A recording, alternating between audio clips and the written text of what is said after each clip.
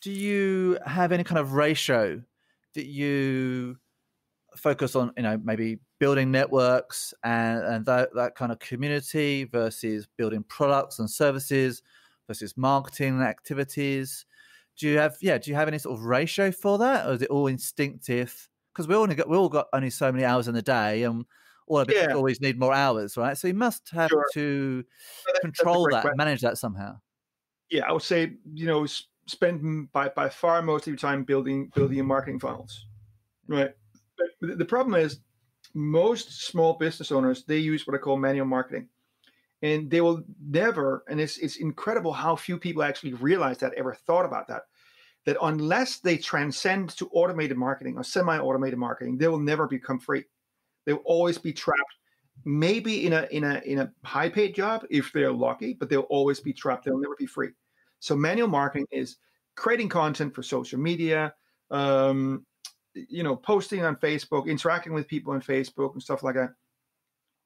Uh, now, if you create viral stuff, it's very hard to orchestrate that uh, to, to like like by design, um, but that can have some longevity uh, and then give some kind of automated flow of leads in the future.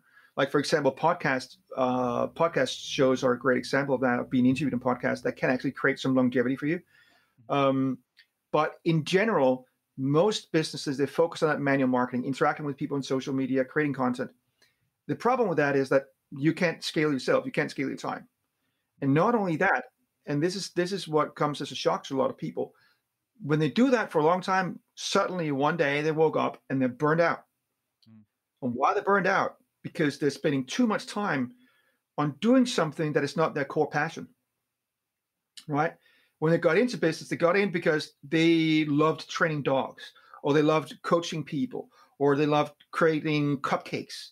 And then suddenly they found themselves spending enormous amount of time on social media. Right? That was not the passion. So if you are doing something that's not your passion for too many hours, it will burn you out. Okay. That's why people burn out of a job Yeah, right? sure. Because it's boring. It's not your it's not your passion.